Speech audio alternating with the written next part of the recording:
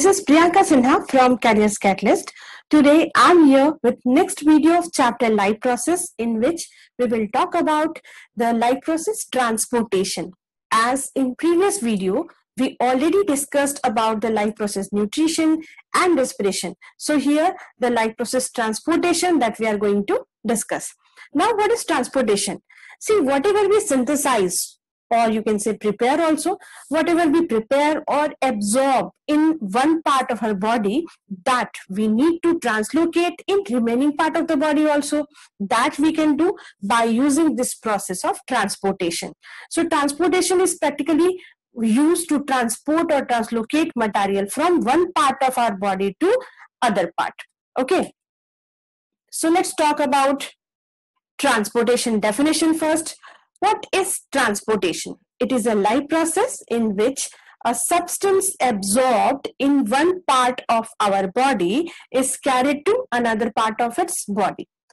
अगर हम higher organism की बात करें then like us we have a circulatory system by using this circulatory system we are able to transport material from one part of our body to another part but if you talk about lower organism like algae and protozoans then they are able to transport material by the process of diffusion and osmosis only because they are not branched well developed organism. So obviously this process diffusion and osmosis is sufficient to transport material from one part of its body to remaining part right? Okay but अगर higher की बात करें then obviously we have a well developed circulatory system by using that we will able to transport material in our body here in this video we are going to discuss about plant only so in higher plant the transportation is done by vascular system they have a well developed vascular system by using which they will able to transport material from one part of its body to remaining part as about vascular system we already discussed plant have a specialized vascular tissue for transportation.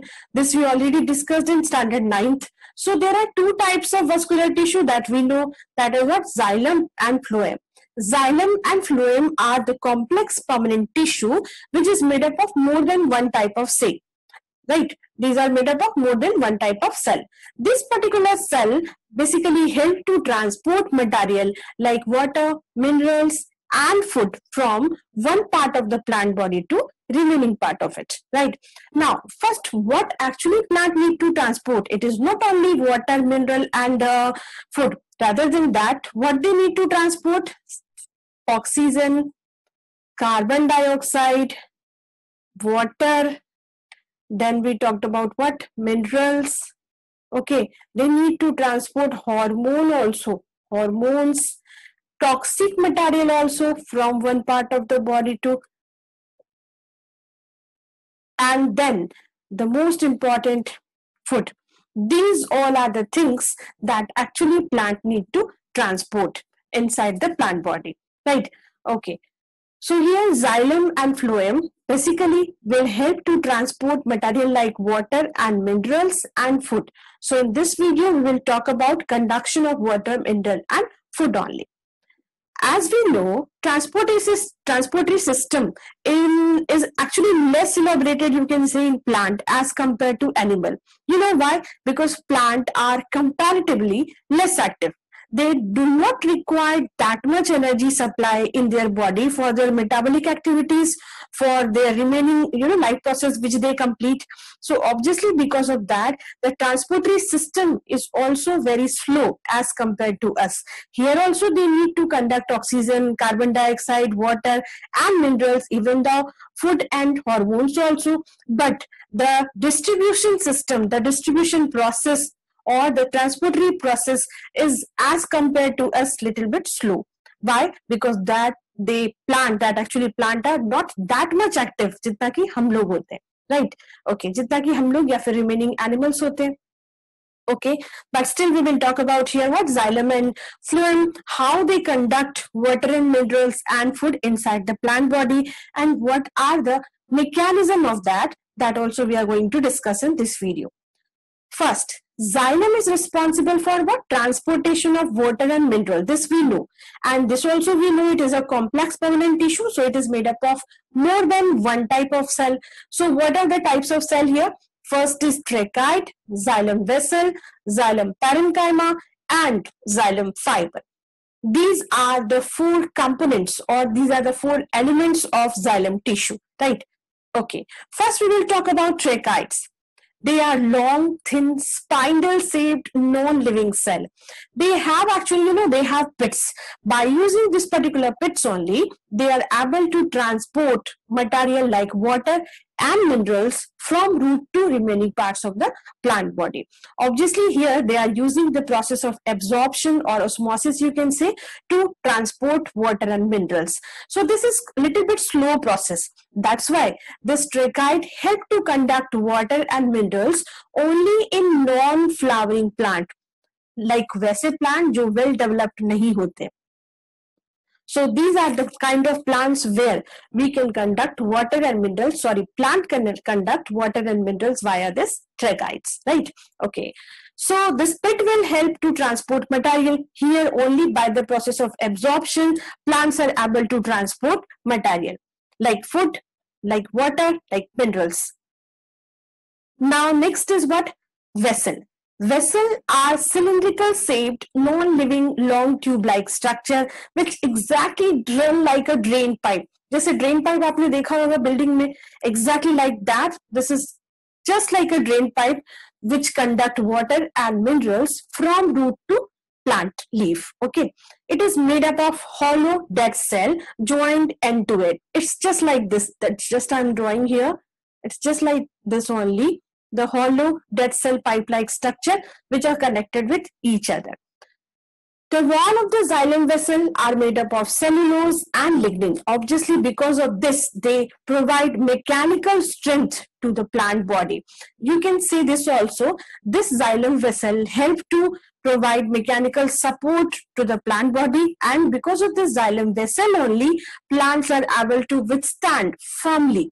Plants are able to withstand firmly because of what? Xylem vessel. So it provides mechanical strength to the plant body also. And second the conduction of water and mineral is done by xylem vessel if we talk about the non flowering plant then हमने सीखा कि वहाँ पर उनके पास तो ठीक है tracheids होते हैं so tracheids are only responsible to transport water and minerals but if we talk about complex tall branched giant tree, then only tracheid is not is not actually responsible to transport material like water and minerals. So if we talk about flowering plant or tall branched giant plant, then obviously only tracheid is not responsible to do so. Then xylem vessel will actually support to transport material like water and minerals. So you can say in flowering plant, both xylem vessel as well as tracheid help to transport material. But अगर छोटे group के plant की बात करें then only tracheids is responsible to transport material by the process of absorption. Got it? Now, it carry what? Water and minerals from the root to the leaves and then other parts of the plant. Mainly transportation in plant में हमें water mineral and food conduction पढ़ना है तो we are talking about here xylem so xylem basically help to conduct what water and minerals from root to the leaves and obviously in remaining part of the plant body also. Now, next is phloem. Phloem is responsible for transportation of food. Okay, phloem help to transport what? Food. Phloem is also complex permanent tissue. So obviously it is composed of sieve tube, companion cell, phloem parenchyma, and phloem fiber. These are the four elements from which the phloem tissue is made up of. The sieve tube are actually the conducting element in phloem. यानी जो food का conduction है वो practically यहाँ पर कौन complete करता है the sieve tube only it carries the product of photosynthesis obviously it is what food so the product of photosynthesis from the leaves to remaining part of the plant body this conduction of food is done by phloem tissue or phloem tissue may be specially कौन conduct करता है the sieve tube which help to conduct food from leaf to remaining parts of the plant body water can enter plant through its entire surface because we know her plant के हर part में क्या present होता है tiny pores present होते हैं right this particular tiny pores like stomata help to obviously absorb water from water from surrounding but the maximum absorption of water is done by roots only from soil roots can absorb water and minerals easily. So the maximum water absorption is done by what? Roots only. The plant taking mineral containing water, obviously roots not only absorb water from the soil, along with water, it absorb what? Minerals also from the soil. This particular water along with minerals is defined as sap water. We say this as what? Sap water. Through their roots and then it carried by xylem vessel to all the parts of the plant body. Obviously at first xylem vessel will absorb the water and minerals from the soil and then it will translocate it to the remaining parts of the plant body. The root of the plants have root hair. We know the root of the plant have root hair. They have root nodules also. That root nodules actually help to exchange water and minerals from the soil by the process of diffusion and osmosis, right? So by the process of diffusion and osmosis only, the plant's root or you, you can say root nodule can absorb water and minerals from soil.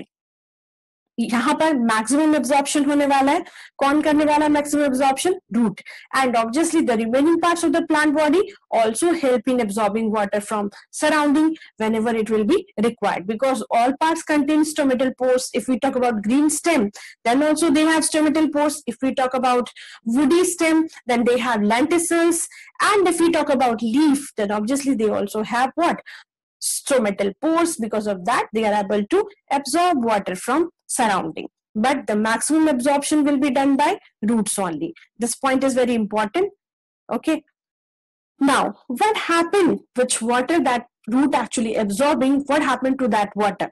They absorb sap water passes from cell to cell by osmosis obviously एक cell से दूसरे cell में absorption process से ही pass होगा so this is defined as what osmosis through which it reaches to epidermis then root cortex then endodermis and then reaches to root xylem let me show you the diagram here yeah this you can see here this is what soil particle from which the root nodules will help to absorb water and minerals after that it reaches to where Epidermis, then it reaches to root cortex and then endodermis and at the last it reaches to xylem vessel. Xylem vessel is just a conducting pipeline structure just like a drainage pipe. And when the water and minerals reaches here then obviously it is very easy to conduct water in because these are just like a hollow cylinder. So obviously water can be moved upward easily. This movement or this particular uh, wire like structure you can see in leaf also these veins are basically defined as what? Vessels only. Okay that you can see leaf also. So it is conducted in upward direction and reaches to leaf. So the absorbed sap water passes from cell to cell as shown in figure the epidermis the root cortex the endodermis and then it reaches to where? Root xylem the sap water is distributed throughout the plant body by xylem vessel. This xylem vessel will continue to the leaf. I had shown you leaf may be jo chote chote veins hote that is also considered as what vessels where the mineral along with uh, water actually it is what sap water will approach. Now absorption of water and minerals is a continuous process ऐसा नहीं कि एक बार हो गया it is a continuous process okay water is continuously being lost from the leaves when it reaches to leaf then obviously leaf by the process of transpiration release to this water to surrounding if it is not required to plant body then obviously it will release in surrounding by the process of what transpiration then because of that the low pressure will create in leaf because leaf loses all the water in surrounding by the process of transpiration. Either it will use for the process of photosynthesis and if it is not utilized there, then the excess water will be removed from the leaf to the surrounding by the process of transpiration. So obviously their low pressure will be created and because of this low pressure, the water along with minerals will pulse up and it reaches to where leaf obviously via this particular xylem vessel. Because xylem vessel continuously absorbs water and mineral from where? Soil okay? So this is similar to what happened when we drink juice with straw. What happened when we drink juice with a straw? Obviously, we create low pressure in our mouth, and when we suck this juice, then obviously it moves in upward direction against gravity right so the same concept is utilized by plant body also when it created low pressure region in leaf then the water will move in upward direction easily transportation of water and minerals involve actually three distinct interconnected process all the three processes are interconnected to each other the first process is absorption of water and minerals जो कि हमने सीखा how they will absorb obviously at first the water actually absorbed by root hair or you can say the root nodules and then it reaches to endodermis then root cortex then epidermis and then it approaches to xylem vessel. So these are the pathway by which the absorption of water and minerals will be done now, when it reaches to xylem vessel, then the next process actually happens. That is what of sap. Of sap is basically the upward movement of water and minerals. This is the way in which water is moving in upward direction. This is actually done by two distinct theory. The important theory that is actually utilized here for conduction of water in upward direction. First is root pressure theory it is what? Root pressure theory. And the second is transpiration pull. Transpiration pull. These are the two mechanisms which actually help to conduct water in upward direction. Now, if we talk about the small group of plant or you can see the non-flowering plant, then according to root pressure theory, what happened? The root absorb water. The root at first will absorb water. This is what absorption of water in mineral. After absorbing this water, the root will exert some pressure. Why? Because here the water value is more. So because of that, it created lot of pressure. So it exerts some pressure. And this pressure is defined as what? Root pressure. It's very simple. What happened here? The root absorb water and exert pressure. So we define that as root pressure. This particular root pressure help to push water and minerals in upward direction. And because of this, plants are able to transport water and minerals in upward direction. But the root pressure theory is actually not uh, done in complex or you can say the tall branched giant tree. By using only root pressure theory, plants are not able to transport material like water and minerals. So in case of flowering giant tall branched tree, the transpiration pull mechanism is used by plant body. What is transpirational pull that we are going to discuss here? Let me show you the diagram again. As you can see, when water reaches to xylem vessel, then here the water is more obviously because of that the concentration of water is more so because of that high pressure is created here and the leaf actually required water for the process of photosynthesis. And if they have already water then it continuously lose water in surrounding by the process of what? Transpiration. So obviously always here the difference between pressure created. Here will be always what? Low pressure right? Here will be what low pressure.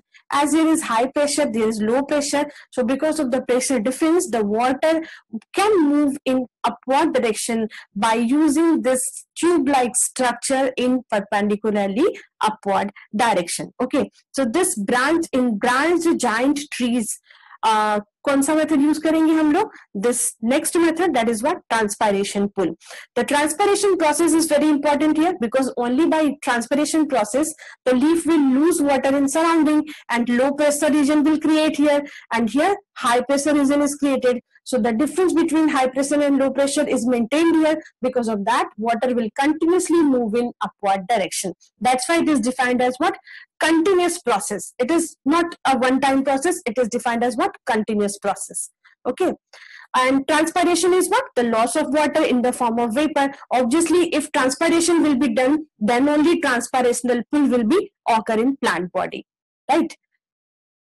Okay. Now we will talk about the mechanism of transport of food in plant body, how actually food is transported in plant body. Okay. as we know, to conduct food in plant body, we have a phloem tissue. Phloem tissue is basically a type of tissue which help to conduct food from preparation site to remaining part of the plant body. Okay, what is the actually food here? The sugar or you can say the uh, glucose the basic food that is prepared by leaf will get to transport will transport it in remaining parts of the plant body. The translocation of food in phloem takes place by utilizing energy. This point is very important here. The translocation of food in phloem takes place by utilizing energy. Why actually energy is utilized here to translocate food? It is very important to understand. See, at first, the sugar made in leaf loaded into the sieve tube okay, of phloem tissue. As we know, phloem, in phloem tissue, practically the sieve tube only the cell which will help to conduct food. And when in sieve tube food is loaded, then for that energy is required in form of ATP. Why this energy is required? That we are going to discuss here. Water containing sugar enters into the sieve tube by the process of osmosis.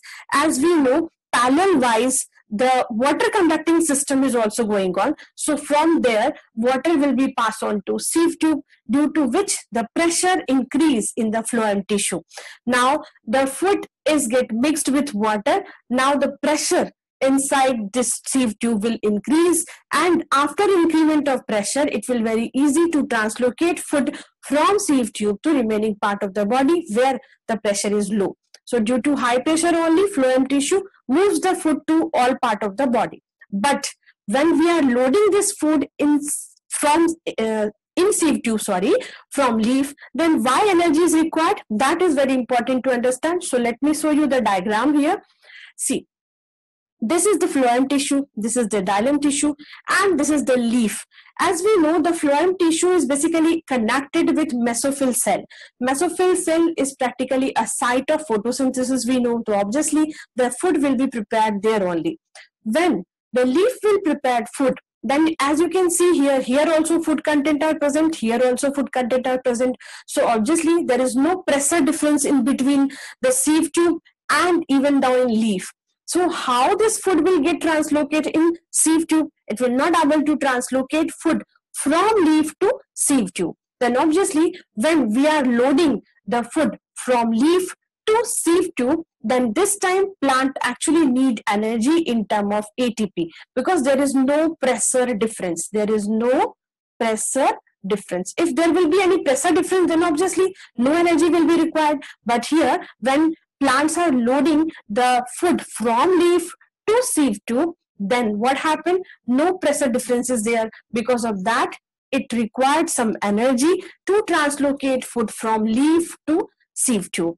Now, when the when the food reaches to sieve tube then what happened? This food will get mixed with water, and after mixing of this food with water, the pressure in this region of phloem will be more, and because of that, it can be translocated easily to remaining part of the plant body where actually the food is required because obviously there will be less pressure right the movement will occur easily. Here the energy will be required. But when plants are translocating food from leaf to sieve tube then at that time energy will be required by plant body to translocate food from leaf to sieve tube. After this obviously the pressure theory will be used here. And by creating high pressure this food can be translocated easily in remaining part of the plant body. So this was the transportation of food water and minerals in the plant body. Hope it is clear to you. In next video, we will talk about transportation of what? Transportation in actually human being we are going to discuss. Okay. So hope it is clear to you. I'm concluding this session, this video here only. In next video, we will talk about transportation in animal. Thank you.